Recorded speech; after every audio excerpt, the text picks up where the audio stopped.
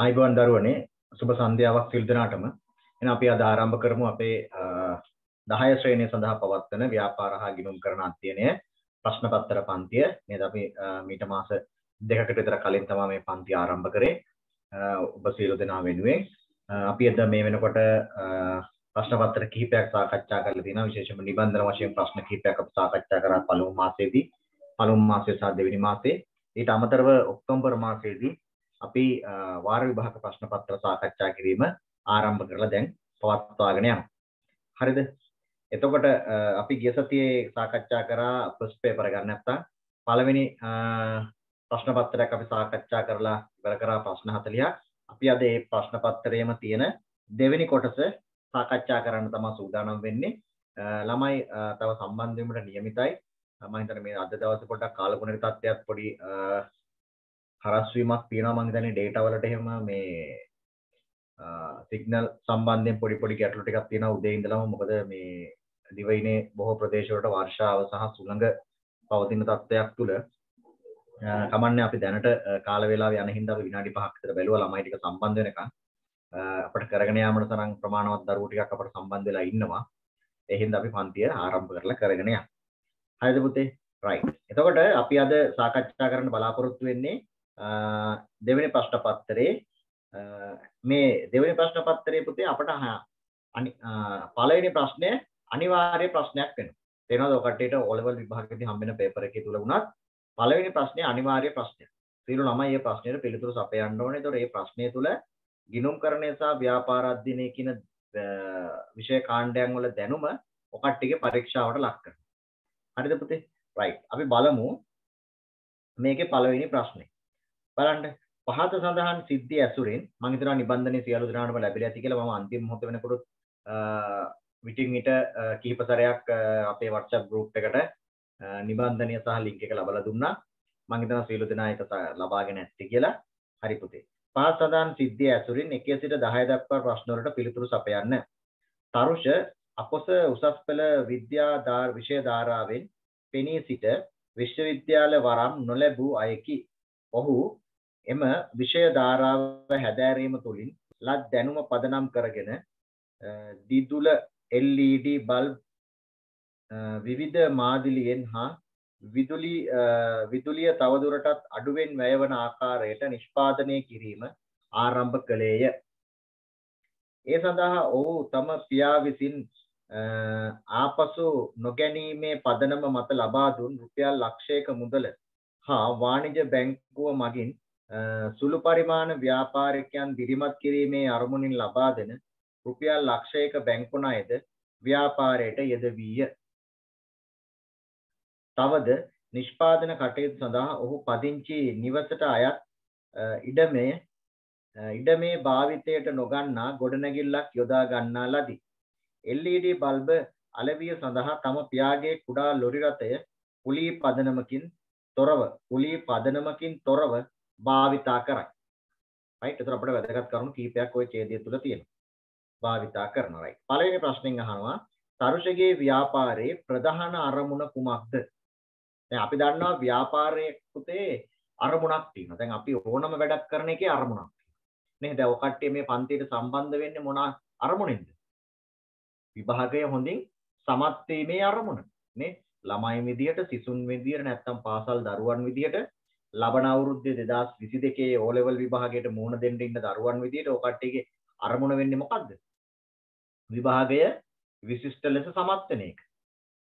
නේද පුතේ? ඒ වගේ අපි සිදු කරන සෑම කටයුත්තකම අරමුණක් තියෙනවා අපට. එහෙනම් පුතේ අපි ව්‍යාපාර අධ්‍යයනය ව්‍යාපාර පසුබිම කියන පාඩමේදී නේද අපි සාකච්ඡා කරනවා මේ ව්‍යාපාරයක අරමුණු සම්බන්ධ. එහෙනම් බලන්න මේ දෙවෙනි පේපර් එකේ පළවෙනි ප්‍රශ්نين අහන්නේ මේ සිදුවීම තුළ තියෙන ව්‍යාපාරයේ අරමුණ මොකක්ද කියලා තමයි අහන්නේ. රයිට්? මොකක් වෙන්න පුළුවන්ද දරුවෝ අරමුණ? නේද? මොකක් වෙන්න පුළුවන්ද අරමුණ? රයිට් මම chat box එක ඕපන් කරන්නම් අපිට උත්තර එවන්න බලන්න. මොකද මයික් එක ඕපන් කරොත් එහෙම කට්ටිය කෑකෝ ගහනවා.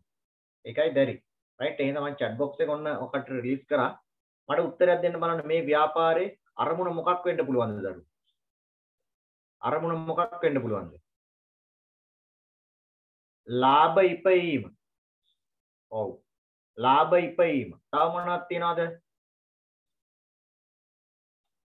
ඔව්. අපි එහෙනම් ඒක පිළිතුරක් විදිහට බාරගමු නේද? ලාභ ඉපයීම ව්‍යාපාරයක් පටන් ගන්නන්නේ ව්‍යාපාරයක මූලික අරමුණ එහෙම නැත්නම් ප්‍රධාන අරමුණ වෙන්නේ මොකද්ද? ලාභ ඉපයීම. කියන්නේ මෙතන මේ කියලා තියෙන ව්‍යාපාරය අනිවාර්යයෙන්ම අපිට තේරෙනවා මෙයා ලාභ ඉපීමේ පදනමින් තමයි මේ ව්‍යාපාරය ආරම්භ කරලා තියෙන්නේ කියලා. එහෙනම් පුතේ පළවෙනි ප්‍රශ්නෙට අපිට ලියන්න පුළුවන් ලාභ අරමුණ නැත්නම් ලාභ ලැබීමේ අරමුණ. ඔව්. ඒ දුව දුන්න පිළිතුර නිවැරදි. විදූපමා දුන්න පිළිතුර නිවැරදි. right? අපි දෙවෙනි ප්‍රශ්නෙට යමු. නිෂ්පාදනය කරනු ලබන නිෂ්පාදිතවල ස්වභාවය අනුව තරුෂගේ ව්‍යාපාරයේ කුමන ව්‍යාපාර වර්ගයට අයත්ද?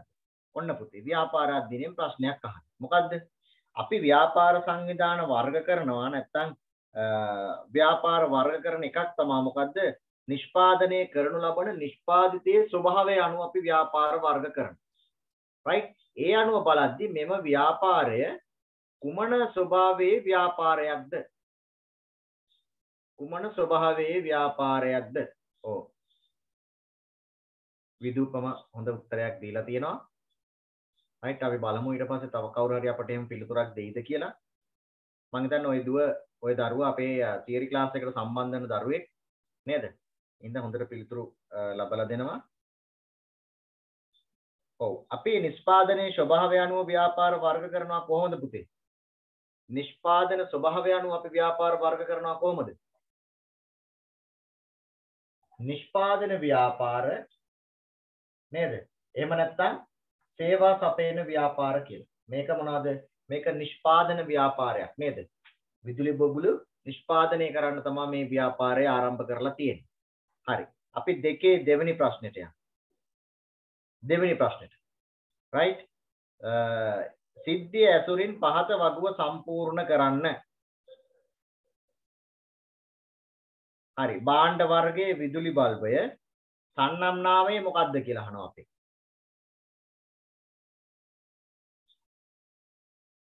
සන්නම් නාමය මේ මෙයා නිෂ්පාදනය කරන විදුලි බුබුලේ සන්නම් නාමය මොකක්ද කියලා අහනවා.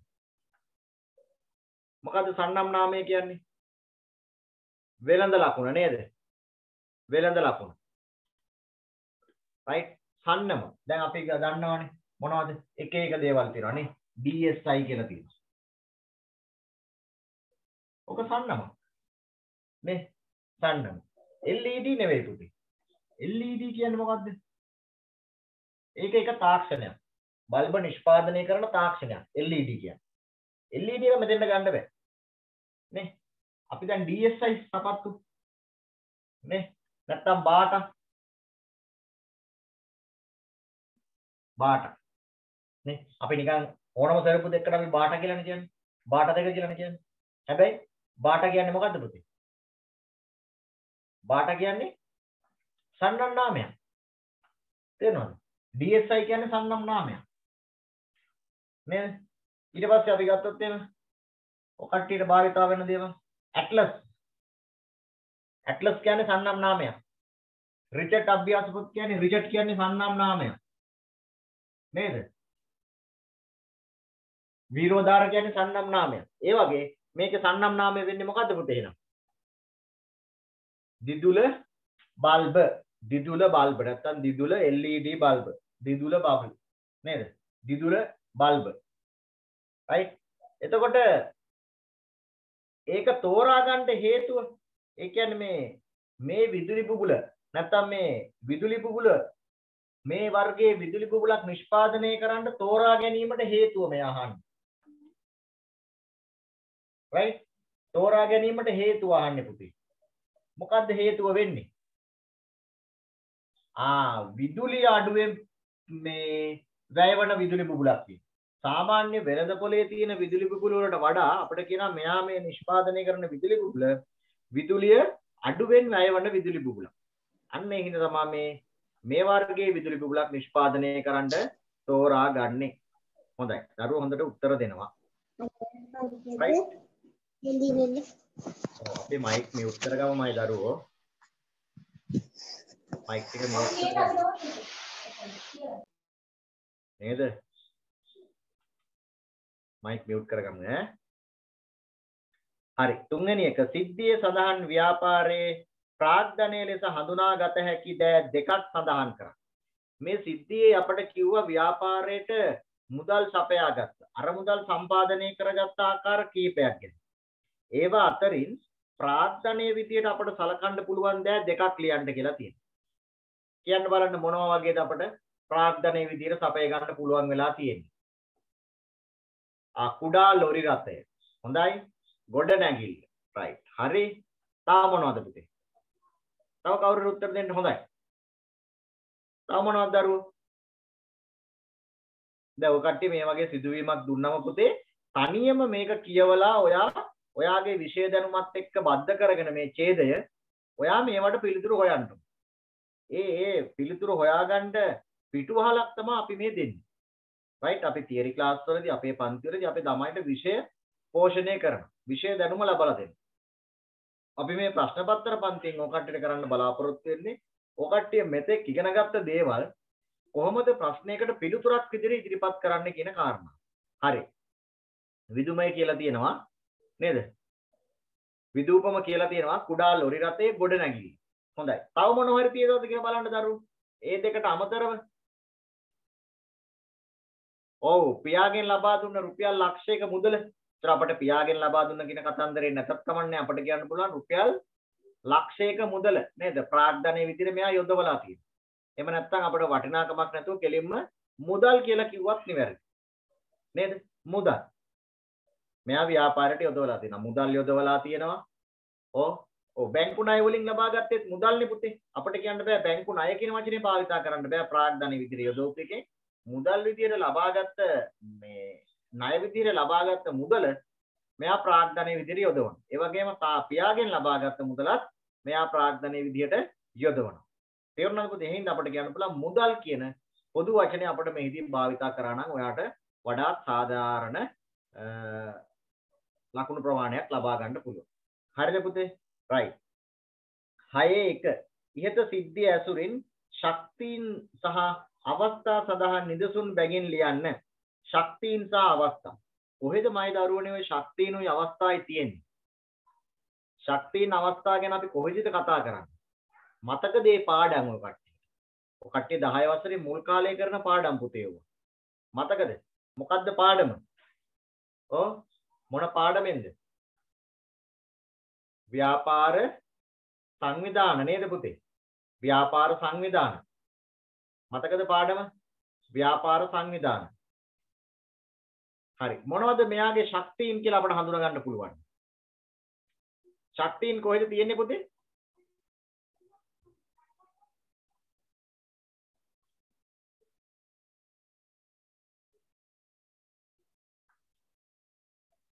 මොකද්ද මේ කියන්නේ? ආ ඊට කලින් ප්‍රශ්න දෙකක් තියෙනවා. රයිට් බලමු. ආ ඔව් සෝරි. තරුෂගේ ව්‍යාපාරය ඊට කලින් තියෙන පුතේ. හරි thank you ඈ මතක් කරගන්න. 4යි 5යි right. okay thank you. ආ තරුෂගේ ව්‍යාපාරය කෙරෙහි රජය විසින් දක්වන දායකත්වය කුමක්ද? තරුෂගේ ව්‍යාපාරයට රජය විසින් දක්වන දායකත්වය කුමක්ද? මොකද්ද දක්වන දායකත්වය? මොකද්ද රජය විසින් දක්වන දායකත්වයක් දක්වලා තියෙන්නේ? මේ කාලෙත් ඒ විදිහට දායකත්වයන් රජය දක්වනවා. නේද? ඒවා කාලීන ප්‍රශ්න පුතේ. මෙයා කියලා තියෙනවා නේද? බැංකුව විසින් නේද? සුළු හා මධ්‍ය පරිමාණ ව්‍යාපාරිකයන් දිරිගැන්වීමට ණය යෝජනා ක්‍රමයක් දීලා තියෙනවා. ඒතර එහෙම ණය යෝජනා ක්‍රම දෙන්නේ කවුද පුතේ? රජයේ මැදිහත් වීම. නේද? එහෙනම් අපිට ඒක කියන්න පුළුවන් මේ වගේ පිළිතුරක්. මොකද්ද? ව්‍යාපාර සඳහා හිතකර දිරිගැන්වීම් ලබා දෙනවා. නේද? ලියා ගන්න එහෙනම් රජය විසින් ව්‍යාපාර සඳහා හිතකර දිරිගැන්වීම් ලබා දීම රජය විසින් ව්‍යාපාර සඳහා හිතකර දිරිගැන්වීම් ලබා දීම. ඔව් බැංකු ණය තමයි පුතේ. හැබැයි අපි බැංකු ණය කියන වචනේ භාවිත කරනට වඩා ඒක රජය විසින් ලබා දෙන දිරිගැන්වීම් කියන වචනේ භාවිතා කරන්න අපි පුරුදු වෙමු. ඒ විදිය දෙයක් තමයි අපි පිළිතුරු විදියට ලියන්න ඕනේ. එහෙම තමයි පුතේ අපි ව්‍යාපාර අධ්‍යයනයේදී අපි න්‍යායාත්මකව ඉගෙන ගන්න කරුණු අපේ අහන ප්‍රශ්නයට ගැළපෙන ආකාරයට අපි සකස් කරලා පිළිතුරු විදියට ඉදිරිපත් කරන්න පුරුදු වෙන්න ඕනේ. තේරුණාද පුතේ? ඒ හින්දා තමයි අපි මේ ප්‍රශ්න පත්‍ර පන්ති දාලා ඔය කට්ටියට ඒවා ලියන්න පුරුදු කරන්නේ. එහෙම නැතුව අපි ඉගෙනගත්ත සියලු දේ අපිට ඒ වගේම පිළිතුරු විදිහට ලියන්න අවස්ථාව ලැබෙන්නේ නැහැ. වර්තමානයේ පුතේ අධ්‍යාපන ක්‍රමය තුල ඔය කට්ටියට ලැබෙන්නේ නිර්මාණාත්මක ප්‍රශ්න. ළමයාට ළමයාගේ චින්තන ශක්තිය දියුණු කිරීමට තමයි අධ්‍යාපන ක්‍රමය ප්‍රතිසංස්කරණය වෙලා තියෙන්නේ. ඔය කට්ටියගේ සිලබස් අලුත් කරනවා.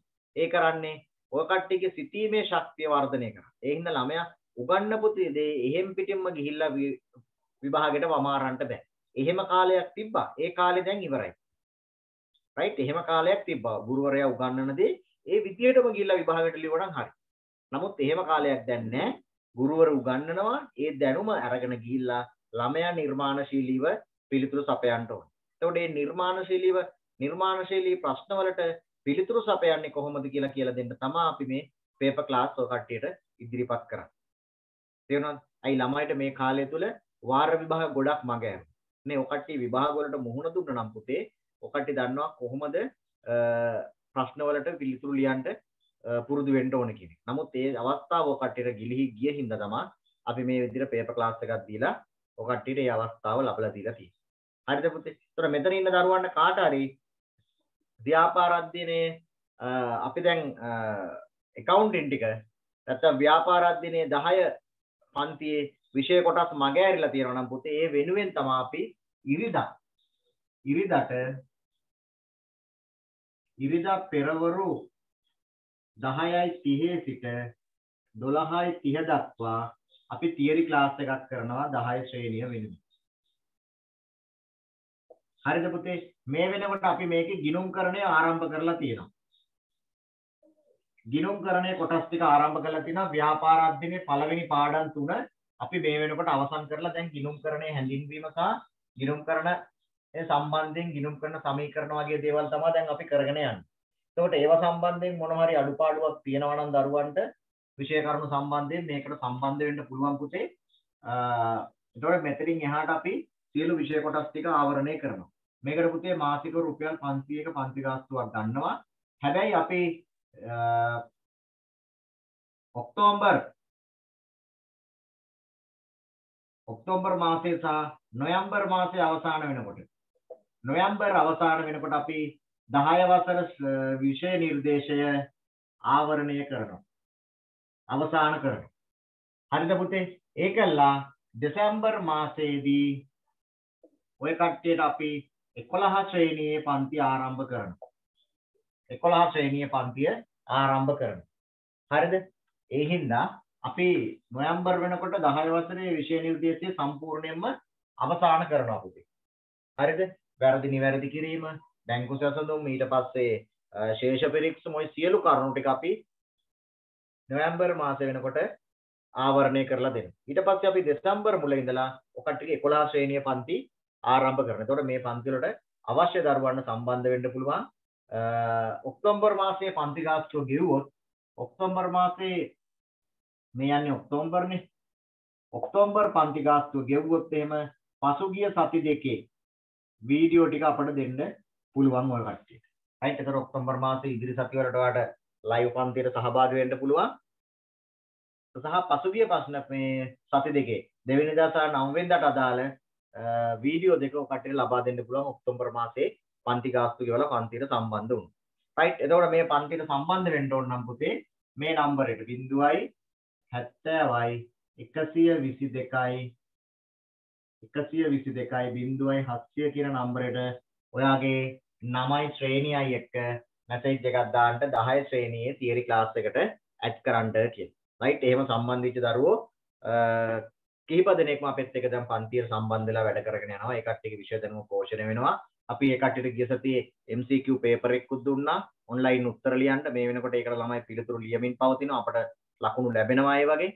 රයිට් එතකොට අපි ඒවා පන්තිය සාකච්ඡා කරනවා වෙනම ඒ තියරි ක්ලාස් එකේදී රයිට් ඒ හින්දා අපි ඒවට අදාළ ගණන් හදනවා වෙනම ඉතින් එහෙම වැඩිපුර කට්ටිට මේ විෂය සම්බන්ධයෙන් දැනුමක් අවබෝධයක් ලබා ගන්න පුළුවන් නම් අපෙත් එක්ක මේ තියරි ක්ලාස් වලට සම්බන්ධ වෙන්න පුළුවන් පුතේ. ඉරිදා උදේ 10:00 ඉඳලා 12:00 වෙනකන් තියෙන්නේ. හරිද? රයිට් ඊළඟ එක යන් අපි පස්වෙනි ප්‍රශ්නය. LED බල්බ නව මාදිලි වලින් ඉදිරිපත් කිරීම අයත් වන පරිසර සාධකයේ කුමක්ද? මොකද්ද පුතේ අහන්නේ මේ? සර් ඒ පේපර් එකේ ලකුණු බලන්නේ සර්ද ඔව් මට පේනවා ලකුණු ටික පුතේ. ඔය කට්ටිය පිළිතුරු ලිව්වට පස්සේ ඔය කට්ටිය ගත්ත ලකුණු ටික සහ ඔය කට්ටිය නිවැරදි පිළිතුරු මොනවද දීලා තියෙන්නේ වරද්දලා තියෙන්නේ මොනවද කියලා මට පෙන්නනවා MCQ පේපර් එකේ.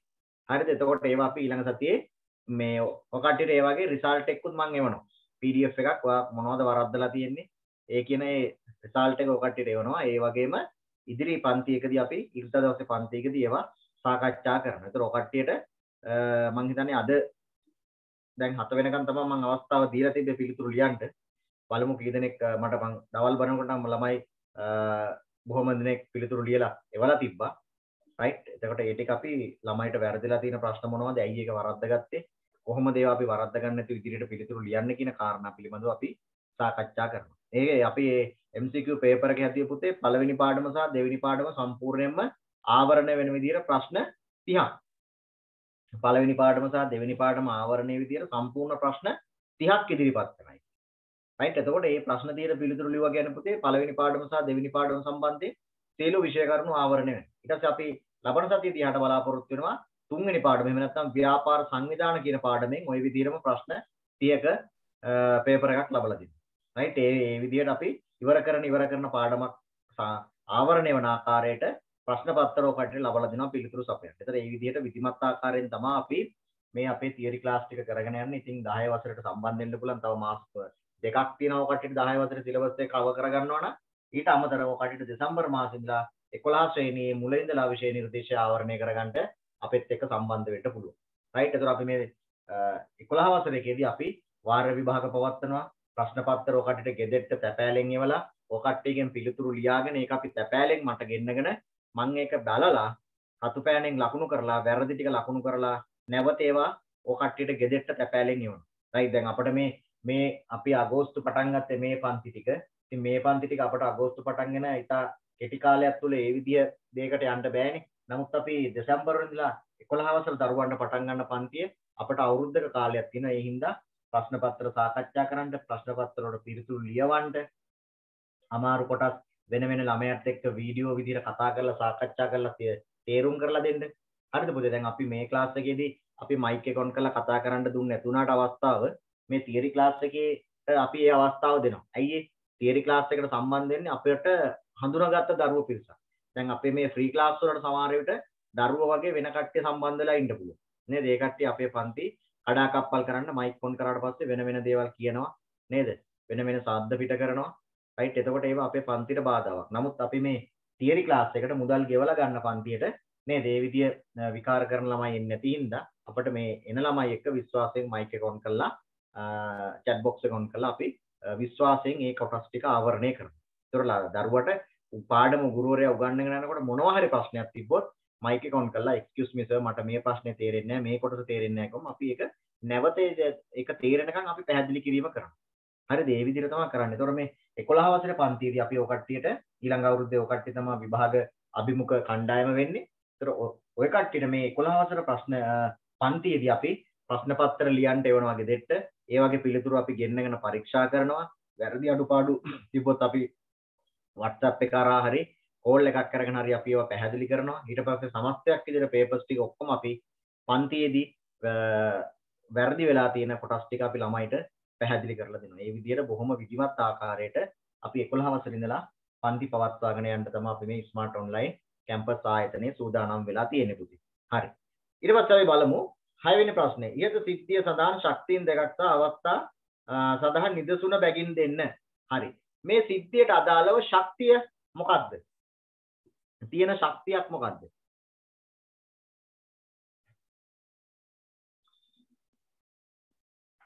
තාක්ෂණික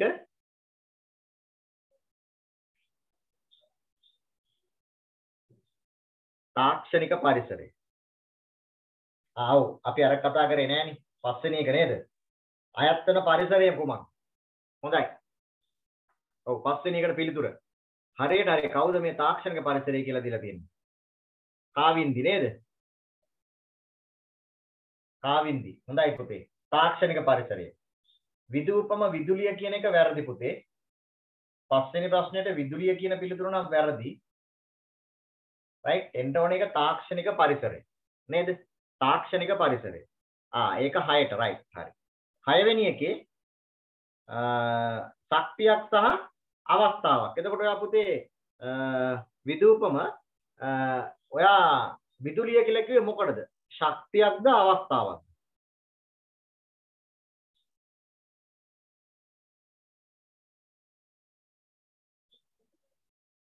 ශක්තියක්. උතන මොකද්ද පුතේ ශක්තියක් කියලා කියන්නේ? ශක්තිය කියන්නේ පුතේ බල ශක්තිය නෙවෙයි උතන. නේ? බල ශක්තිය ගැන කතා කරනනම් ওই විදුලිය කියන පිළිතුර හරි. අපි ශක්තියක් කියලා කියන්නේ මොකද්ද පුතේ? නේද? අපි දන්නවනේ ව්‍යාපාරයක තියෙනවා පුතේ අභ්‍යන්තර පරිසරය කියලා තියෙනවා. මතකයි නේද දරුවන්ට? අභ්‍යන්තර පරිසරය කියලා තියෙනවා. ඒ වගේම බාහිර පරිසරය කියලා තියෙනවා. අභ්‍යන්තර පරිසරය බාහිර පරිසරය. මතකයි නේද දරුවන්ට? එතකොට පුතේ මේ ශක්තියින් කියලා කියන්නේ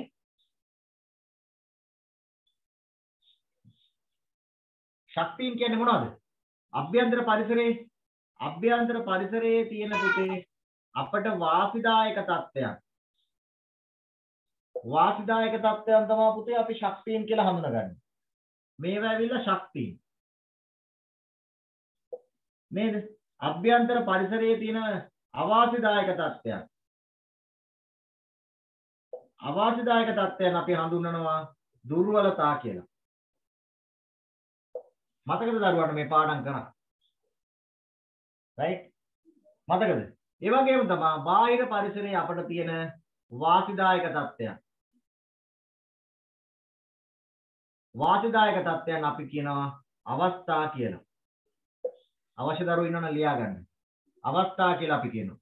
බාහිර පරිසරයේ තියෙන අවාසිදායක තත්ත්වයන්. අපි කියනවා මොනවද පුතේ? තරජන කියලා. right අපි මේවා අපේ තියරි ක්ලාස් එකේදී ව්‍යාපාර පරිසරයේ පාඩමේදී ඕවා බොහොම ලස්සනට අපි ප්‍රසන්ට් කරා. PowerPoint presentation වලින් බොහොම අපූර්වට මේවා කියලා දීලා තියෙනවා. right? ඒ හින්දා ඉදිරි පාඩම් වලදීත් එහෙමයි අපි අවශ්‍ය දේවල් ළමයින්ට හොඳට මනසට වදින විදිය පැහැදිලිව निराවුල්ව අපි කියලා දෙන්න. හරිද පුතේ? එහෙනම් අභ්‍යන්තර පරිසරයේ තමයි පුතේ ශක්තියින් තියෙන්නේ. බාහිර පරිසරයේ තමයි පුතේ අවස්ථා තියෙන්නේ. මෙතන තියෙන ශක්තියින් මොනවද පුතේ? එකක් තමයි මෙයාට ප්‍රමාණවත් ප්‍රාර්ථනයක් රැස් කරගන්න පුළුවන් වුණා නේද? නේද? ප්‍රමාණවත් ප්‍රාර්ථනයක් රැස් කරගන්න පුළුවන් වුණා. නේ? ඒ කියන්නේ මෙයාට හොඳ මූල්‍ය ශක්තියක් තිබ්බා. නේද? මූල්‍ය ශක්තියක් තිබ්බා. තාත්තගෙන් සල්ලි හම්බුණා බැංකු ණයක් ලබා ගන්න පුළුවන් වුණා. එහෙනම් මෙයාට හොඳ මූල්‍යමය ශක්තියක් තිබ්බා. ඒක තමයි පුතේ අභ්‍යන්තරයේ වාසිදායක තත්ත්වයක්. එහෙනම් ඒක ශක්තිය. ඊට අමතරව මෙයාට LED බල්බ නිෂ්පාදනය කිරීම පිළිබඳ දැනුමක් තිබුණා. නේ මෙයා විද්‍යා විෂය ධාරාවෙන් උසස් පෙළ හදාරලා ඒ LED බල්බ නිෂ්පාදනය කිරීම සම්බන්ධයෙන් මෙයාට තිබුණු දැනුම මෙයාට ශක්තියක්. ව්‍යාපාරයේ අභ්‍යන්තර පරිසරයේ වාසිදායක තත්ත්වයක්. ශක්තියක්. එහෙනම් අන්නේ කරුණ වලින් එකක් ලියවිලා තිබ්බනම් හරි පුතේ. ඊට පස්සේ අපි බලමු අවස්ථා. අවස්ථා. අවස්ථා කියේ පුතේ බාහිර පරිසරයේ තියෙන අපට වාසිදායක තත්ත්වයක්. නේද? මොකද්ද? එකක් තමයි රජයෙන් අනුග්‍රහය ලබා දුන්නා. සුළු හා මධ්‍ය පරිමාණ ව්‍යාපාරවල. ඒක අවස්ථාවක්. නේද? ඊට පස්සේ වාණිජ බැංකු වලින් ලබා දුන්න ණය පහසුකම්. ඒක අවස්ථාවක්. නේද? ඒ වගේ දේවල් අපට අවස්ථාව විදියට හඳුනා ගන්න පුළුවන්. හරි. එහෙනම් ඒ වගේ පිළිතුරු කට්ටිය ලියා ගන්න ඕනේ.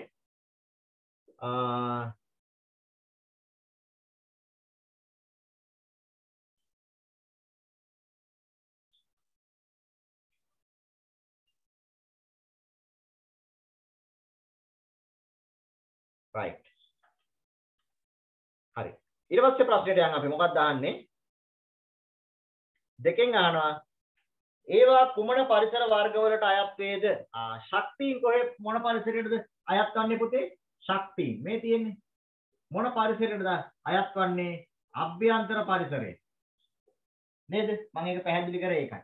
අවස්ථාවන් මොන පරිසරයටද අයත් වෙන්නේ පුතේ? බාහිර පරිසරයට. right? හැබැයි පුතේ ඔයාගේ මේ ප්‍රශ්නේදී මේ අවස්ථා ශක්තියින් සහ අවස්ථා ගැන ප්‍රශ්න කරාට සමහර විට පුතේ ඔයාට එන ප්‍රශ්නේ ඔයාට එන පේපර් එකේදී මේ දුර්වලතා සහ තර්ජන ගැන ප්‍රශ්න කරන්න පුළුවන්. තේරුණාද? එහෙනම් අපි අපි ඒකයි පුතේ අපේ පන්ති වල තියෙන විශේෂත්වය. අපි ප්‍රශ්නයට අදාළ මේක දෙක විතරක් gediya පිටින් කියලා මෙන්න ළමයි ප්‍රශ්නේ මෙන්න ළමයි උත්තරේ කියලා අපි යන්නේ නැහැ. නේ? මේකට අදාළ ප්‍රශ්නේ තමයි අපි පැහැදිලි කරලා උත්තර ටික ඔයාට හඳුන්වලා දුන්නේ. ඒ වගේම තමයි පුතේ අපි කියනවා මෙන්න පුතේ මේ අවුරුද්දේ ආපු ප්‍රශ්නේ හැබැයි මෙන්න පුතේ ඔයාට ඊළඟ අවුරුද්දේ එන්න පුළුවන් ප්‍රශ්නේ. හරි? එහෙම පුතේ මේ කර්ම පැහැදිලි කරන පන්ති බොහොම අඩුයි. නේද? ප්‍රශ්න පන්ති කරන නැත්නම් පේපර් සාකච්ඡා කරනවා කියලා මොකද්ද කරන්නේ? ප්‍රශ්න ටික දීගෙන යනවා. උත්තර ටිකත් ගුරුවරයා දීගෙන යනවා. නේද? දරුවන්ට පිළිතුරු සපයන්නවත් අවස්ථාවක් දෙන්නේ නැහැ සමහර පන්තිවල. රයිට් අපිනේ එහෙම නැහැ. අපි ගොඩක් වෙලාවට ප්‍රශ්නෙට අදාළ තියරි කොටස නෙව නැත්නම් අපේ පාඩමේ කොටස අපි ළමයට මතක් කරලා දෙනවා. ඒත් එක්ක මේ ප්‍රශ්නේ මේ අවුරුද්දේ එහෙම ප්‍රශ්නයක් ආවට ඉදිරියේදී වාට තව ප්‍රශ්නයක් එන්න පුළුවන් කියන කාරණාව අපි හඳුන්වලා දෙනවා. රයිට්? හරි. ඊට පස්සේ ප්‍රශ්නේ බලන්න මොකක්ද තියෙන්නේ කියලා.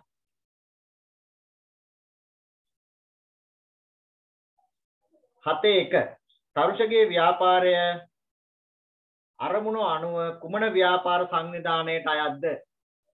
තරුෂගේ ව්‍යාපාරයේ කුම අරමුණු අනුව කුමන ව්‍යාපාර සංවිධානයකට අයත්ද කියලා අහනවා. මොකද්ද පුතේ අපිට ලියන්න වෙන්නේ? ලාභ අරමුණු කරගත් පෞද්ගලික අංශේ නේද? සම්පූර්ණ පිළිතුරක් අපි ලියමු. මොකද්ද? ලාභ අරමුණු කරගත් පෞද්ගලික අංශේ ඒක පුද්ගල ව්‍යාපාරයක්. එහෙම පිළිතුරක් ලිව්වම පුතේ වාට ආයේ ලකුණු කපන්න කොහෙවත් නෑ ඒකේ අවස්ථාවක්. නේද? බලන කෙනාට ආයේ ලකුණු දශමයක්වත් අඩු කරන්න නෑ ওই විදිය පිළිතුරක් ලිව්වොත්. මොකද්ද? ලාභ ලැබීමේ අරමුණ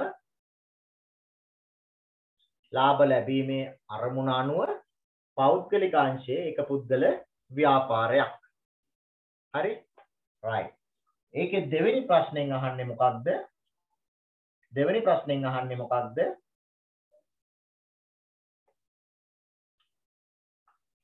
දෙවෙනි ප්‍රශ්නෙන් අහනවා. ඒවා එම ව්‍යාපාර පරිමාණය අනුව කුමන ව්‍යාපාර සංවිධානයකට අයත්ද? ඒක අපිට උඩ සිද්ධිය තුලම දීලා තියෙනවා. සුළු හා මධ්‍ය පරිමාණ. නේද පරිමාණය අනුව අපි ව්‍යාපාර වර්ග කරන්නේ කොහොමද පුතේ? සුළු පරිමාණ සුළු හා මධ්‍ය පරිමාණ සහ මහ පරිමාණ කියලා සුළු හා මධ්‍ය පරිමාණ කියන්නේ එකක් අනික තමයි මහ පරිමාණ කියලා කියන්නේ හරිද right එතකොට පුතේ අපි මේ ප්‍රශ්න පත්‍ර පන්ති අපි මේ තරම් තියරි කොටස් ඔයාලට නැත්නම් විෂය කොටස් අපි සාකච්ඡා කරනවා වගේම තමයි මේ පන්ති වලදී පුතේ 100ට 100ක්ම ඔයාගේ විෂය නිර්දේශය ආවරණය වෙන පරිදි අපි ඉගැන්වීමේ කටයුතු කරනවා. පැය දෙක පුතේ ඔයාට මිනිත්තු 5ක්වත් අහක යන්න අපි දෙන්නේ නැහැ. right? බොරු විහිළු කතා කියන්ටයි සින්දු කියන්ටයි ඒවා මේවා කිසිම දෙයක් අපි කරන්නේ අපි පටන් ගත්ත වෙලේ ඉඳලා උදාහරණ සහිතව අපි කතා කරොත් කතා කරන්නේ උදාහරණ ගැන පමණයි. උදාහරණ අපි ගන්නවා ලෝකයේ බාහිර ලෝකයේ නැත්තම් අපේ ප්‍රායෝගික ලෝකයේ තියෙන උදාහරණ අපි ළමයිට ඉදිරිපත් කරනවා. රයිට් ඒ තුලින් ළමයාට විෂය කරුණු මතක තබා ගැනීමේ පහසුවක් වෙනවා. රයිට් අපි ව්‍යාපාර සංවිධාන ගැන කරද්දී එහෙම නැත්නම් ව්‍යාපාර පරිසරය ගැන කරද්දී අපි ප්‍රායෝගික උදාහරණ දරුවන්ට ගොඩාක් පෙන්වලා දෙනවා. ඒතකොට දරුවන්ට මේ කොටස් පුතේ මතක තියාගන්න ලේසි. ඒ වගේ බොහොම සැලසුම් සහගත පන්ති මාලාවක් තමයි කරන්නේ. අවශ්‍ය කෙනෙක් ඉන්නනම් පුතේ මේ නම්බරයට 070යි 122යි 0700 කියන නම්බරයට පණිවිඩයක් දෙන්න මම දන්නවා අද අලුත් දරුවෝ කිහිප දෙනෙක් අපෙත් එක්ක සම්බන්ධ වෙලා තියෙනවා. ඉතින් ඒ දරුවන්ට තමයි මේ පණිවිඩය දෙන්නේ. පන්තියට සම්බන්ධ වුණොත් ඔය කට්ටියගේ ප්‍රතිඵලය ලේඛනයේට ව්‍යාපාර අධ්‍යයනයේ ඉස්සරහෙන් නේද? ව්‍යාපාර හා ගිණුම් කරන අධ්‍යයනයේ ඉස්සරහෙන් ඒ සාමාර්ථයක් ලබා ගන්න පුළුවන් කියන කාරණාව නිසකයි කියන එක මට මේ අවස්ථාවේදී ප්‍රකාශ කරන්න පුළුවන්. හරිද? ඒ හින්දා ඔයාගේ ප්‍රතිඵලයට තවත් එක හොඳ ප්‍රතිඵලයක් එකතු කරගන්න ඕන නම් ඔයාගේ ප්‍රතිඵල ලේඛනයට මේ පන්තිත් එක්ක සම්බන්ධ වෙන්න කියන පණිවිඩය නැවත වරක් මතක් කරනවා. හරි. අපි අටේ එකට යන් තරුෂගේ ව්‍යාපාරයට ගණදෙනු කරුවන්ගේ සිත ඇද ගන්නා නමක් යෙදීමට අදහස් කරයි. ඒ සඳහා සුදුසු ව්‍යාපාර නමක් ලියා දක්වන්න. ව්‍යාපාර නාමයක් ලියා දක්වන්න. ආ මෙයාට ව්‍යාපාර නාමයක් ඉදිරිපත් කරනවා කියනවා නේ? මොකක්ද ඒකට සුදුසු ව්‍යාපාර නාමයක් කියලා අපෙන් කියනවා. ආකර්ශනීය නමක් යෝජනා කරන්න නේද? ප්‍රශ්නේ හොඳට කියවන්න. තර්ශකයේ ව්‍යාපාරයට ගණදෙනුකරුවන්ගේ සිත් ඇද ගන්නා නමක් යෙදීමට අදහස් කරයි ඒ සඳහා සුදුසු ව්‍යාපාර නාමයක් ලියා දක්වන්න සුදුසු ව්‍යාපාර නාමයක් ලියා දක්වන්න කියලා කියනවා. මේක ඔයාලට නිදහස දීලා. එතකොට ඔතෙන්දි බලන්න එකම දේ තමයි අයිතිකරුගේ සම්පූර්ණ නම හැර වෙනත් ආකර්ශනීය නමක් ඔයා ඉදිරිපත් කරන්න ඕන. දැන් මෙයා බල්බේට එකක් දීලා තියෙනවනේ මොකද්ද? දිදුලි LED බල්බ කියලා. නේද? දිදුලි LED බල්බ කියලා නමක් දීලා තියෙනවා බල්බේට. මෙයා අපෙන්ට කියනවා මේ ව්‍යාපාරයට නමක්. ව්‍යාපාරයට නමක් දෙන්න කියලා. ඉතින් ඔකට නිදහස තියෙනවා. අයිතිකරුගේ සම්පූර්ණ නම හැර වෙනත් ආකර්ශනීය නමක් ව්‍යාපාරයට ඉදිරිපත් කරන්න. ඒකට ඔකට ඒ වගේ ප්‍රශ්නයකට නිදහසේ පිළිතුරක් ලියන්න පුළුවන්. හරි. එහෙනම් අපි ඊළඟ ප්‍රශ්නෙට යන්. මේක පොදුවේ ඕන කෙනෙකුට ලියන්න පුළුවන්. right. මොකක්ද දැන් මේ අපිට? විදුලිය අඩුවෙන් දිදුලන LED. ආ ඒක හොඳ කියමනක් නේ. right. ඒක හොඳයි අපිට දාන්න. හැබැයි ව්‍යාපාර නමක් නෙවෙයි පුතා ඔක. නේද? ඔක ව්‍යාපාර නමක් නෙවෙයි දන්නේ. නේ? ව්‍යාපාරයට නමක් කියන්න අපෙන් ඈ. ඕක හොඳයි අර ව්‍යාපාරයට දෙන තේමා පාඩයක් විදිහට. නේද? අපි කියන්නේ මොකද්ද අර සෑම ගෙදරකම සිටිය යුතු වෙද මහත්මයා සිද්ධාලේප කියන්නේ. ඒ සිද්ධාලේප කියන එක හඳුන්වලා දෙන්න තමයි කියන්නේ සෑම ගෙදරකම සිටිය යුතු වෙද මහත්මයා. කවුද? සිද්ධාලේප. ඒ වගේ විදුලිය අඩුවෙන් දිදුලන LED නේද? එහෙනම් අපිට දාන්න පුළුවන් දිදුලන LED කියන නම ඕන ව්‍යාපාරයේ නම විදිහට ගන්න පුළුවන්. නේද? right. ඒක ඔය කට්ටියට පොඩ්ඩක් ස්වාධීනව හිතලා ඉදිරිපත් කරන්න අවස්ථාව තියෙනවා. හරි. ඊට පස්සේ අපි අටේ දෙක ගමු. එම ව්‍යාපාර නාමය ලියාපදිංචි කරන්නේ නම් ප්‍රාදේශීය ලේකම් කාර්යාලයෙන් ලබාගත යුතු ඉල්ලුම් පත්‍ර දෙක මොනවාද? ඔන්න පුතේ ප්‍රායෝගික ප්‍රශ්නයක්. මම ඉගෙන කිව්වේ වර්තමානයේ පේපර් රටාව තියෙන බොහොම ප්‍රායෝගික තලයේ කියලා. නේද? බොහොම ප්‍රායෝගික ප්‍රශ්නයක්. මොනවද ගන්න ඕන ඉල්ලුම් පත්‍ර දෙක? කොහෙන්ද? ප්‍රාදේශීය ලේකම් කාර්යාලය. ගන්න ඕන ඉල්ලුම් පත්‍ර දෙක මොකක්ද කියලා තමයි ඔය අහන්නේ. මොනවද ඕන වෙන ඉල්ලුම් පත්‍ර? එකක් තමයි පුතේ ව්‍යාපාර නාම ලියාපදිංචි කිරීම සඳහා වූ ඉල්ලුම් පත්‍රය. දෙවැනි එක තමයි පුතේ ග්‍රාම නිලධාරී වාර්තාව ලබා ගැනීම සඳහා වූ ඉල්ලුම් පත්‍රය. ලියාගත්තද? ව්‍යාපාර නාමය ලියාපදිංචි කිරීම සඳහා වූ ඉල්ලුම් පත්‍රය. දෙවැනි එක ග්‍රාම නිලධාරී වාර්තාව ලබා ගැනීම සඳහා වූ ඉල්ලුම් පත්‍රය. රයිට් පුතේ අපි ඔබ ව්‍යාපාර ලියාපදිංචි කිරීම සම්බන්ධයෙන් ඔය ඉල්ලුම් පත්‍ර ඒවත් එක්ක වැඩ කරන්න ඕන කොහොමද? කොහෙන්ද මේවා ගන්න ඕනේ? ඊට පස්සේ ප්‍රාදේශීය සභාවෙන් ආදායම් බලපත්‍ර ගන්න ඕනේ. නේද? ඒවා අපි කොහොමද කරන්න කියන දේවල් අපේ පන්ති තුල අපි බොහොම ප්‍රායෝගිකව ළමයිට කියලා දීලා තියෙනවා. රයිට් ඒ හින්දා ඒ සම්බන්ධයෙන් ඔය කට්ටිය වැඩි අවධානයක් යොමු කරන්න ගොඩක් ප්‍රායෝගික ප්‍රශ්න අහන අපිට රයිට් ඉස්සර වගේ පොතට පතට පමණක් සීමා වෙච්ච ප්‍රශ්න නෙවෙයි අපෙන් අහන්නේ. බොහොම ප්‍රායෝගික ප්‍රශ්න අහන. හරිද පුතේ? රයිට් අපි ඉදිරියට කරගෙන යමු නවවෙනි එක. අටවන ප්‍රශ්නයේ පළවන කොටසේ සඳහන් ව්‍යාපාර නාමයේ ලියාපදිංචි කළේ නම් මෙම ව්‍යාපාරයට අත්පත් කරගත හැකි වාසි දෙකක්. හරි. අපි දාපු මොකක් හරි නමකින් ව්‍යාපාරයේ ලියාපදිංචි කරලා තිබුණොත් ඒ තුලින් ව්‍යාපාරයට අත් කරගන්න පුළුවන් වාසි මොනවද කියලා අහනවා. ආරයිට් කෝකද පුතේ ඒකට පිළිතුර කියන්න මට ප්‍රශ්නාංක කියන්න කරුණා කරලා? කාවින්දි පුතේ ප්‍රශ්නාංක කියන්න මට කරුණා කරලා.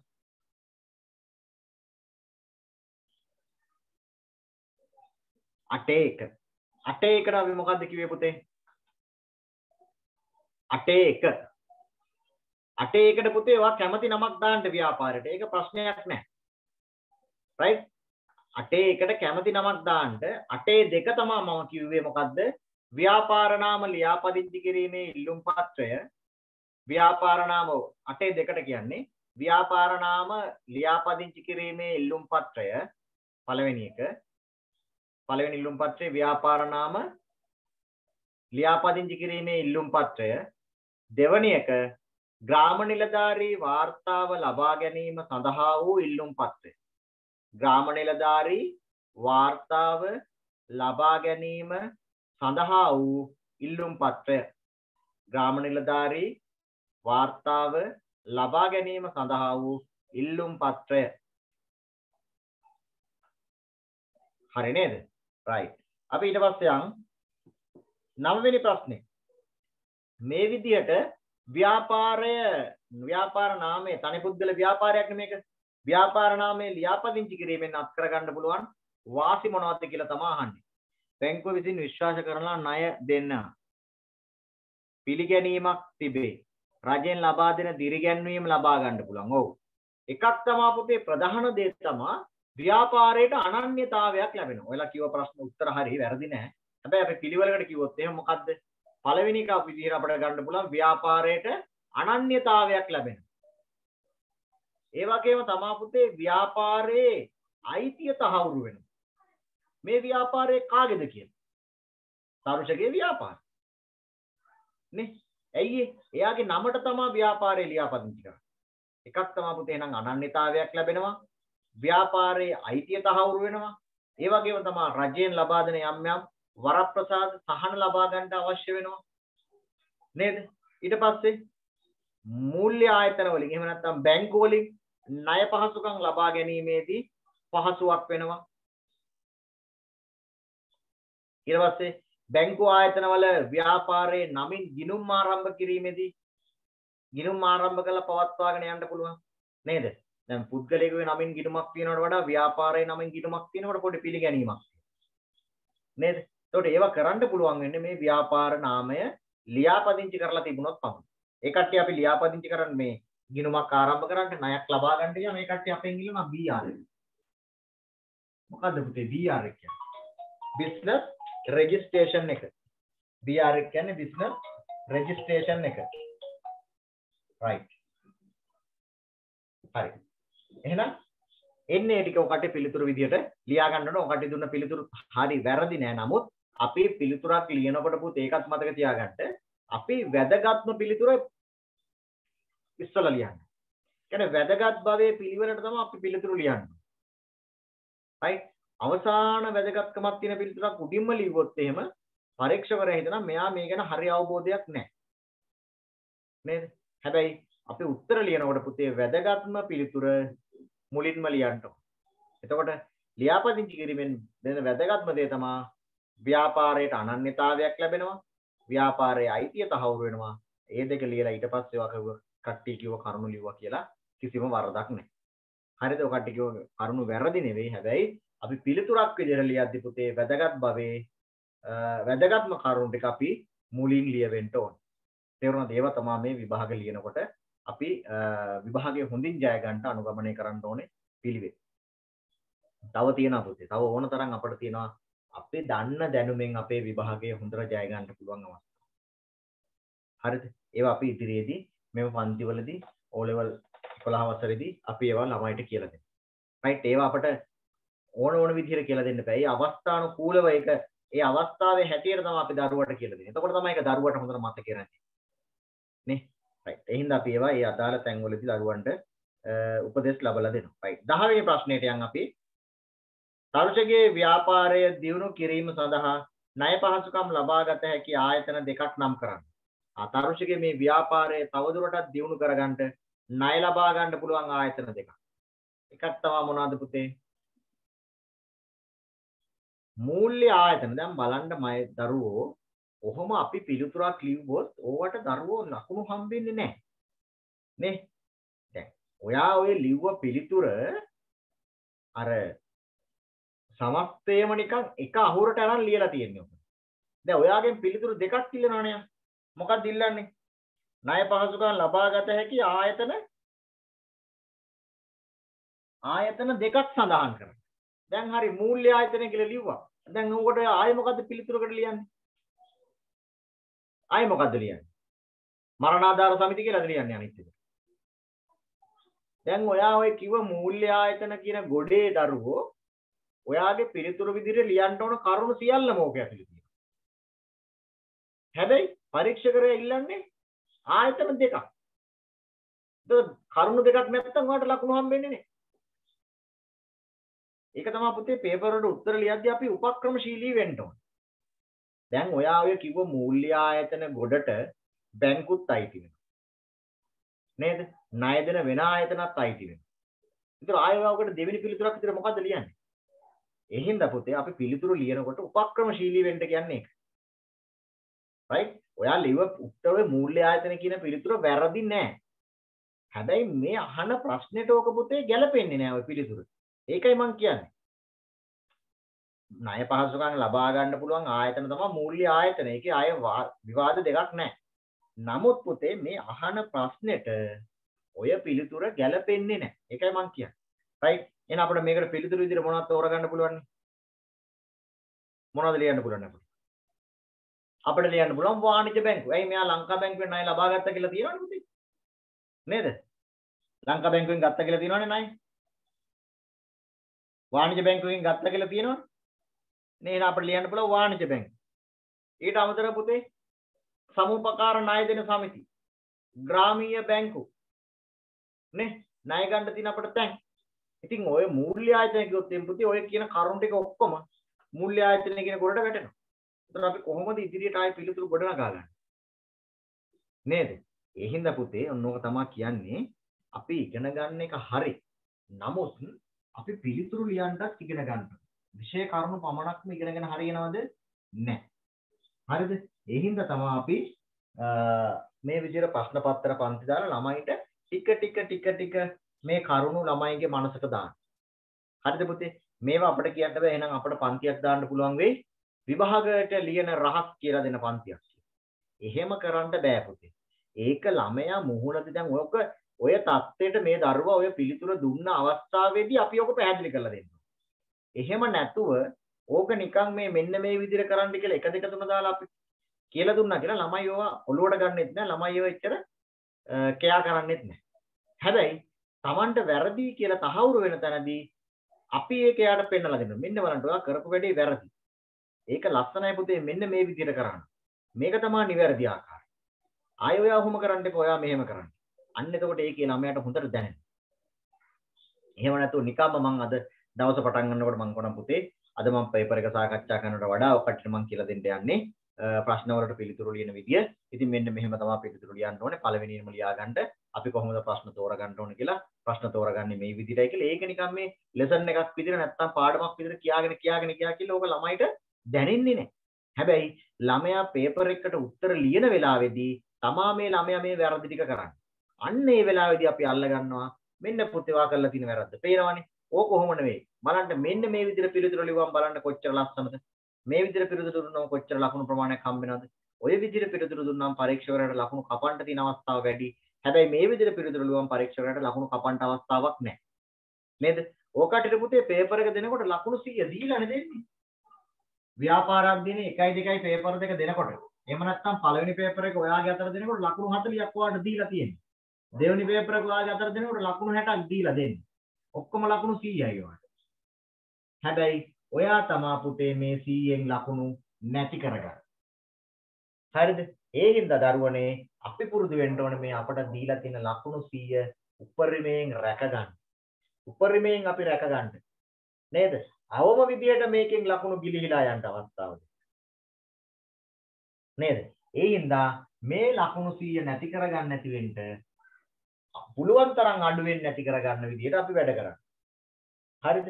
ඒවා තමයි පුතේ අපි මේ පේපර් ක්ලාස් වලදී ළමයින්ට ටිකෙන් ටික කියලා දෙන්නේ. දැන් ඒකට අද මගෙත් එක්ක අලුතෙන් සම්බන්ධ වුණ දරුවන්ට තේරෙනවා ඇති මේක අර සාම්ප්‍රදායික පේපර් ක්ලාස් එකක් නෙවෙයි. නේද? මේක සාම්ප්‍රදායික පේපර් ක්ලාස් එකක් නෙවෙයි විෂය කරුණුත් ළමයිට ලබා දෙන අතරේ ප්‍රශ්න ටිකට පිළිතුරු ලියන්නේ කොහොමද කියන එක අනුව ඒ මත්ත ඉඳගෙන අපි ප්‍රශ්න පත්‍ර ටික ඉදිරියට සාකච්ඡා කරගෙන යනවා. හරිද පුතේ? ඔය කට්ටිය තාම 10 වසරින්. ඒ හින්දා ඔය කට්ටියට ඔරොත්තු දෙන ප්‍රමාණයෙන් අපි මේක කරන්නේ. නේ දැන් මේ සැරේ 11 වසරේ ඉන්න අයියලා අක්කලාට නම් අපි පොඩ්ඩක් වැඩිපුර කරනවා ප්‍රශ්න. දැන් ඒ කට්ටියට පුතේ අපි මේ විදිහේ ක්ලාස් එකක් පටන් ගත්තා. අපි නොවැම්බර් මාසේ වෙනකොට පුතේ සම්පූර්ණ 10 11 පාඩම් ඔක්කොම ඉවර කරනවා. ඇයි ඒ කට්ටිය ඔය කට්ටියට ටිකක් ඉහළ මට්ටමකින් ඉහළ අධ්‍යාපන දැනුමක ඉන්නවා ඒ කට්ටිය.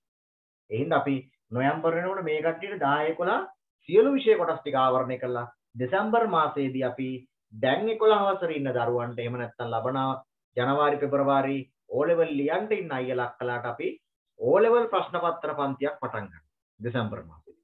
ඔය කට්ටියට දෙසැම්බර් මාසෙදී 11 වසරේ ප්‍රශ්න පත්‍රය 11 වසරේ තියරි පාන්තිය පටන් ගන්නවා. හරිද? ඒතර අපි මේ කට්ටියට මාස 3-4කින් මේ පාඩම් ටික ඔක්කොම කරේ පොඩ්ඩක් ඒ කට්ටිය මේ වෙනකොට ඉගෙන ගෙනෙන්න තියෙන්නේ. ඒ කට්ටියට තිබ්බේ මේවා අපිට නැවත මතක් කරලා දෙන්න විතරයි. හැබැයි ඔය කට්ටියට එහෙම නෑ අපි සම්පූර්ණ විෂය නිර්දේශය 10 වසරේ දරුවෝ විදියට ඔය කට්ටියට අපි සම්පූර්ණයෙන් උගන්වනවා. සම්පූර්ණ සටහනක් දෙනවා. ප්‍රශ්න පත්‍ර ලියන්න දෙනවා. ඒ වගේ පිළිතුරු අපි ගෙනල්ලා බලවනවා. වැරදි අඩුපාඩු අපි ලියලා යවනවා ඔය කට්ටියට. හරිද? ඒ හින්දා බොහොම සැලසුම් සහගතව බොහොම හොඳ ප්‍රතිඵලයක් ඒ සාමාර්ථයක් ලබා දෙන මට්ටමේ අපි පන්තිය සැලසුම් කරලා තියෙනවා. ඒ වගේම පුතේ ඔය කට්ටියක දැන් 9 වසරේ ඉන්න නංගිලා මල්ලිලා ඉන්නවනම් 9 ශ්‍රේණිය. මෙයාලා 2022 වෙනකොට පුතේ 10 වසරට යන්නේ. 2022 වෙනකොට 10 ශ්‍රේණියට යනවා. නංගිලා මල්ලිලා ඉන්නවනේ. ඒ කට්ටියට පුතේ අපි නොවැම්බර් මාසේ පළවෙනිදා නැත්නම් නොවැම්බර් මාසේ පළවෙනි සතියේ අපි අලුත් 10 ශ්‍රේණියේ ව්‍යාපාර අධ්‍යයන පන්ති ආරම්භ කරනවා. right ඒකට අදාළ මේ group එකට අදාළ link එකක් මම ඔය කට්ටියගේ group එකට එවන්නම්. ඔය කට්ටිය දන්න නංගිලා මල්ලිලා ඉන්නවනම් දැන් 10 9 වසරේ ඉන්න ලබන අවුරුද්දේ 10 වසරට ඇවිල්ලා ව්‍යාපාර අධ්‍යයනයේ තෝරගන්න බලාපොරොත්තු ඉන්න කට්ටියට ඉන්නවනම් ඒ කට්ටියට මේ group එකට සම්බන්ධ වෙන්න කියලා මම ඒකේ link එක එවන්නම් ඔය කට්ටියට. ඒක ඔය කට්ටියගේ නංගිලා මල්ලිලාට forward කරන්න. එහෙම බලාපොරොත්තු ඉන්න කට්ටියට අපි ඔක්තෝබර් මාසයේ අන්තිම සතියේදී පොඩි හඳුන්වා දීමේ සම්මන්ත්‍රණයක් කරනවා. දැන් මේ නංගිලා මල්ලිලා දන්නේ නැහැ ව්‍යාපාර අධ්‍යයනය කියන්නේ මොකක්ද කියලා නේ. මොනවද ඉගෙන ගන්න කියන්නේ ඒ කට්ටියට අලුත්ම විෂයක් වෙනවානේ. ඔය කට්ටියක් 10 පන්තිරේ යනකොට දන්නේ නැහැනේ මොනවද ඉගෙන ගන්න කියලා. ආ ඒ හින්දා අපි 9 වසරේ නංගිලා මල්ලිලාට ඔක්තෝබර් මාසයේ අන්තිම සතියේ 30 වෙනිදා අපි නොමිලේ සම්මන්ත්‍රණයක් පවත්වනවා මේ විෂය පිළිබඳ දැනුමක් ලබලා දෙන්න. මොකක්ද කරන්නේ? මේක කරාට පස්සේ මොනවද ඔය කට්ටියට ලැබෙන්නේ? මොන මොන වරප්‍රසාද ලැබෙන්නේ? කොහොමද වාසියක් වෙන්නේ? අන්න ඒ ටික අපි කියලා දීලා අපි නොවැම්බර් මාසේ පළවෙනි සතියේ ඉඳලා ඒ නංගිලා මණ්ඩලයට 10 වසරේ පන්තිය ආරම්භ කරනවා. හරිද? එතකොට ස්මාර්ට් ඔන්ලයින් කැම්පස් ආයතනයේ 6 වසරේ ඉඳලා 11 වසර දක්වා සියලුම අලුත් පන්ති නොවැම්බර් පළවෙනිදාට ආරම්භ කරනවා. නොවැම්බර් පළවෙනිදා නැත්නම් නොවැම්බර් පළවෙනි සතියේදී අපි ආරම්භ කරනවා. හරිද? ඒ හින්දා ඔකට්ටිගේ මේ ලින්ක් එක අද ක්ලාස් එකේ ලින්ක් එක තමයි පුතේ දිගටම සෙනසුරාදා මේ වෙලාවට පන්තියේ තියෙන ලින්ක් එක. ඒ හින්දා ඒක බොහොම සුරක්ෂිත ඔයා ළඟ සේව් කරලා තියාගන්න. හරිද? එහෙනම් ආයේ විටින් විට මගෙන් ලින්ක් ඉල්ලන්න එපා. පේපර් එක විතරයි මම ආයේ දාන්නේ වාට අලුත් පේපර් එකක් හම්බුනම අල ඒ පේපර් එක දාන්න. හරිද? දැන් මේකේ ඉතුරු ප්‍රශ්න ටික අපි ඊළඟ සතියේ කතා කරලා ඊට පස්සේ සතියේ මම වාට අලුත් පේපර් එකක් දෙන්න. එතකොට පේපර් එක විතරයි ආයේ දාන්නේ ලින්ක් එක දාන්නේ නෑ. ලින්ක් එක දාන්නේ අලුතෙන් ළමයි සම්බන්ධ වුණොත් පමණයි. ඒ හින්දා පරණ දරුවෝ ටික මේ ලින්ක් එක තියාගන්න මේ ලින්ක් එක පුතේ හැමදාම හවස 7ට සෙනසුරාදා හැමදාම හැසෑම සෙනසුරාදාකම හවස 7ට පන්තිය මේ ලින්ක් එකෙන් ඔය කට්ටිය සම්බන්ධ වෙන්න. හරිද පුතේ? එතකොට ඔය කට්ටියට 11 වසරට යනකොට පුතේ 10 වසරේ සියලු ප්‍රශ්න වලට පිළිතුරු ලියන්න ඔය කට්ටිය සන්නද්ධ වෙලා යන්නේ. රයිට් ලබන සතිය අපි accounting ටික සාකච්ඡා කරනවා. ප්‍රශ්න ටික ඒ හින්දා ඒකටත් පන්තියට සම්බන්ධ වෙන්න. දැන් අපේ අද පන්තියට නියම වෙලා තියෙන කාල සීමාව අවසන් වීගෙන යන්නේ. එහෙනම් පුතේ අපි අදට පන්ති කටයුතු අවසන් කරමු. ඔය කට්ටියගේ යාළුවෝ ඉන්නවා නම් ඔය කට්ටියටත් අවශ්‍ය නම් මේ පන්ති වලට සහභාගී වෙන්න ඔය කට්ටියගේ රිසල්ට් ෂීට් එකට ව්‍යාපාර හා ගිණුම් කරන අධ්‍යයනයේ විෂය ඉදිරියෙන් ඒ සාමාර්ථයක් ලබා ගන්න අවශ්‍ය නම් මෙන්න තියෙනවා නියම මඟ අපෙත් එක්ක සම්බන්ධ වෙලා ඔය කට්ටියට ඒ සාමාර්ථය ලබා ගැනීමේ මාවත දිගේ යන්න අවස්ථාව දෙනවා. රයිට් අපි ගියොත් කියලා ඒකක් ළඟම තමයි නතර කරන්නේ. හරි. මොකද්ද පුතේ අහන්නේ? මේ ක්ලාස් එක දිගටම කරනවාද සර්? ඔව්. මේ ක්ලාස් එක පුතේ අපි දිගටම කරන්න බලාපොරොත්තු වෙනවා. නේද? මේ අවුරුද්ද අන්තිම වෙනකම් මේ ක්ලාස් එක අපි කරමු. රයිට්? මේ නොමිලේ පවත්වන ප්‍රශ්න පන්ති මාලාව මේ අවුරුද්දේ අන්තිම වෙනකම් අපි දැනට සැලසුම් කරලා තියෙනවා. රයිට්? එතකොට ඊළඟ අවුරුද්දේ 2022 පන්ති ආරම්භයත් එක්ක ඒ අපට හම්බෙන කාල සීමාව අනුව සමහරවිට මේක සෙනසුරාදා නොවෙන්න පුළුවන්. හරිද? දැනට අපි ඉදිරි මාස දෙක දක්වා දෙසැම්බර් දක්වාම අපි සෙනසුරාදාට මේ පන්තිය කරගෙන යනවා. right? එතකොට අපි ඉදිරියටත් මේ පන්ති කරන්න බලාපොරොත්තු වෙනවා. හැබැයි වෙලාව පිළිබඳ පොඩි වෙනසක් වෙයි අපිට. එතකොට මොකද මේ 2022 පන්ති කාලසටහන් එක්ක අපේ පන්ති වෙලාවල් වෙනස් වෙයි.